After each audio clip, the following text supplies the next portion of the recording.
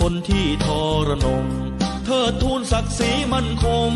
ดำรงในคุณความนี้เลือดน้ำใจ หลังมากับสามัคคี ดังน้ำหล่อเลี้ยงชีวีให้กรานต้นนี้ยังยืนยง เพราะคุณครูผู้ให้ความรู้วิชา สิทธิ์จึงเจริญก้าวหน้า พัฒนาสู่ปวงชน เขียวขาวเหลืองเพื่อนพ้อง น้องทุกคนจะรึกในดวงกมลบ้านกลางทุกคนยึดมั่นประเพณีงานหนักไม่เคยฆ่าคน เป็นเหตุผลเตือนตนได้ดี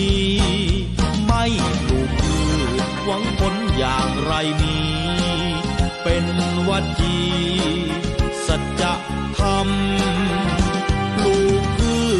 ก็ต้องหวังผล มานะอดทน ส่งผลสู่ความก้าวหน้า ชีวิตคนเรามีไว้ให้ฟันฝ่าสำคัญนั่นหนาคือกำลังใจเอาบ้านกลางทุกคนต้องไม่ย่อท้อ เราคือสิทธิเจ้าพ่อปู่ย่างแห่งความศรัทธาเรา